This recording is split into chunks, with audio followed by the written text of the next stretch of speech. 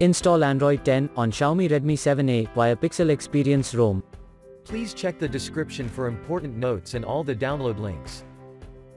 First download ROM and GApps packages, then transfer the downloaded files to the phone storage, link is in the description below.